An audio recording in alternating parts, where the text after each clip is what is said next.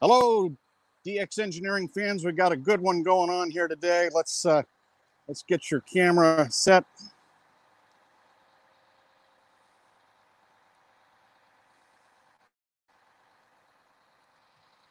Got the uh, crane going on here today at K3LR, just bringing down the the uh, old uh, 15 meter Yagi at uh, it was up at 120 feet, and uh, crane is moving it down as we speak. It's a beautiful morning here in Western Pennsylvania, and I hope all of you are well. Uh, coming down nice and easy. Crew's got it uh, coming down. This is the old. You want it? Hold on, Bill. You got three coming down, right? You want to swing this one over so that we can put them You could do that. cross squat, cross inside each other.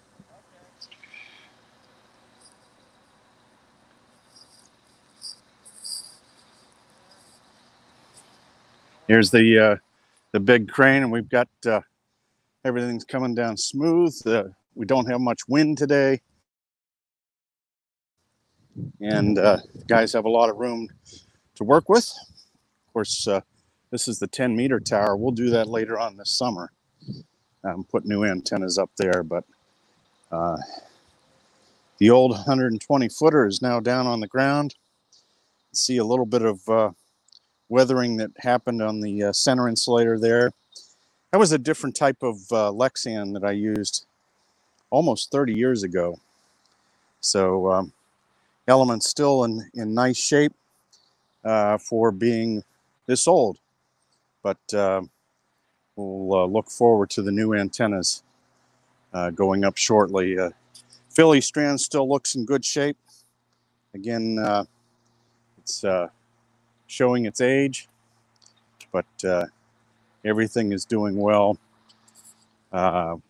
We did replace the feed lines on to go, and got the guys getting everything undone. It's Jerry, is that right? Yeah. Welcome back. It's good to have you, man. Here we go.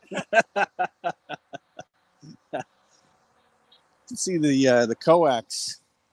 Um, this is Belden coax, and I I just don't understand how it got discolored like that. But um, it's not that old. Uh, you can see the feed point. Of course, we do things much differently now uh, with the feed point connector. But uh,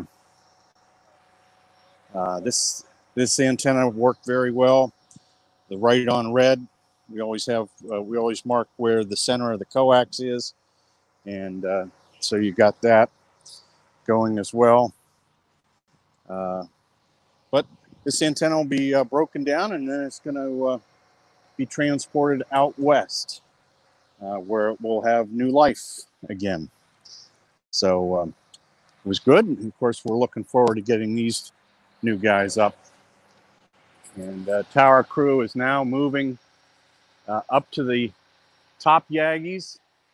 They'll grab a, uh 15 meter Yagi up there and a six meter Yagi. Uh, and uh, those will come down as well.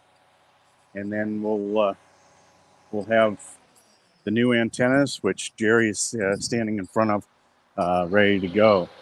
So nice, uh, nice day here to do all the uh, the crane work. And Katie, I think we will go inside and we'll- go inside and uh, we, we can do some Q&A for a few minutes. If anybody has any questions about what we're and uh, this beautiful uh, crane that is doing all the work. And uh, very very safe. Everybody is very safe here today. Let's uh,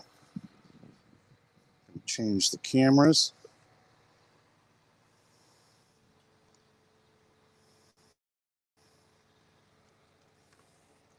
it's a very safe operation here. Everybody's got their hard hats on.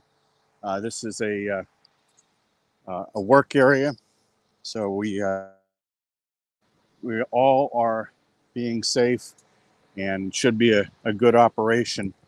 Um, let's go down here into the shack and uh, Katie, if you would send the link to the email address, I will log on and we will uh, we'll take some questions. If anybody has any questions, we can do that and have some fun here uh, before we shut it down. So get things uh, booted up. Big day here at uh, K3LR, and of course, uh, all the parts, uh, DX engineering parts that were used to um, make this happen. So, um, very excited about today. Um, I've been planning this for uh, over six months, and uh, to get the new 15 meter antennas uh, up here at K3LR, and uh, so the the end stacked array will be uh, four seven element Yagis, um, all brand new uh, Yagis here at K3LR, and we will hopefully we'll try those out uh, here next week. We got to have all of the coax hooked up. Takes a little while to get everything uh, put back together, uh, but we should be able to get everything back up and running by next week. Get everything taped down and all of the things uh, checked out. We, we will probably uh, use the RigExpert uh, analyzer today just to make sure that everything is uh, is ready to go. And uh, just so we're getting hooked up uh, here online so we can take a look at your questions. And Katie will bring me in.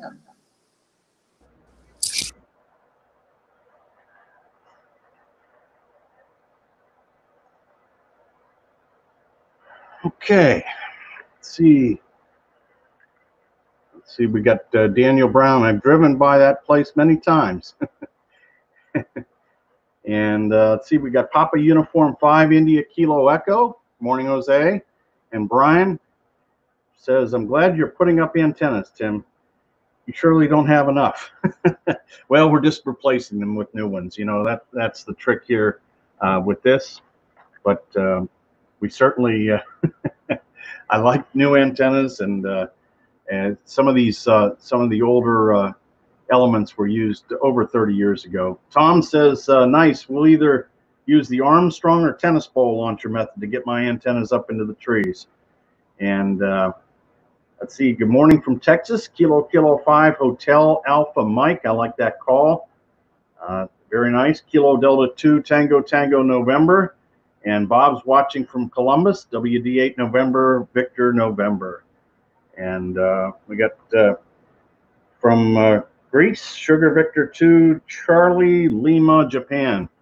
Nice to see you, Thomas. And uh, see, and we got uh, Whiskey X-Ray 3 Bravo. Uh, nice to see you, Jim, as well. And Jim sometimes operates at W3LPL so uh, great to have you along as well. So we're uh, just down here in the shack. Uh, uh we were outside taking a look at uh, some of the work going on with the crane, and we will um, we will come back here in a little while and do some more. Um, I think uh, we're going to try to do a couple of outside Facebook Live and YouTube Live shots today. And let's see, we got uh, Jeff, Whiskey Delta 8, Juliet Mike. Uh, can't wait to hear that on 15. You and me both, Jeff. I'll tell you, after all the modeling work and all the uh, uh, preparation and construction, it, it's going to be uh, great, I think. Uh, we have WA5 Papa Mike Oscar, and from the United Kingdom, it's Mike 5 Radio India Charlie. And we got Dan uh, whiskey, is that Whiskey India 9, Echo Mike Tango.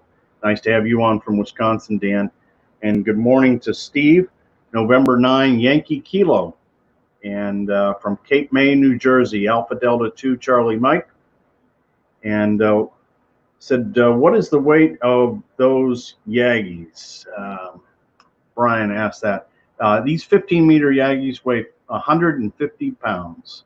Uh, the the uh, boom is very thick, and uh, so they weigh 150 pounds, and so they're they're built to last. so I hope you had a good time. If you missed the the beginning, it'll be available, uh, you know, for replay here once we're done. And uh, I hope you have a good day. And uh, look for us in a couple of hours. We'll show you the the new antennas being put into place with the crane. So 73 from DX Engineering.